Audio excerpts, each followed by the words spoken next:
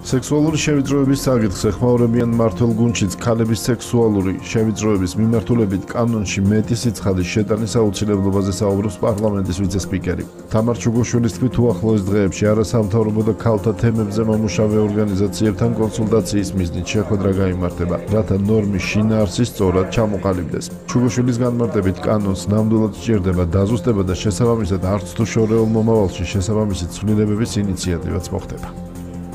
ქალთა თემებზე და განსაკუთრებით შევიწროების და ძალადობის თემებზე, შევიწროების თემებზე მე ვფიქრობ, რომ კანონის ჩანაწერებში მეტი ასე ვთქვათ, სიცხადის შემოტანა არის საჭირო, როგორც თქვენ აღნიშნეთ, საჯარო სამსახურის შესახებ კანონში უფრო მკაფიო ჩანაწერებია და საჯარო მოხელები უფრო არიან დაცული, ვიდრე სხვა ადამიანები, რომლებიც კერძო სივრცეში საქმიანობენ. ჩვენ ამ თემაზე ვმუშაობთ, საკითხი სამართლებრივად, ანუ იურიდიული თვალსაზრისით მარტივი არ არის. ჩვენ უახლოეს დღეებში გვექნება არასამთავრობო ორგანიზაციებთან და ქალთა თემებზე მომუშავე ორგანიზაციებთან შეხვედრა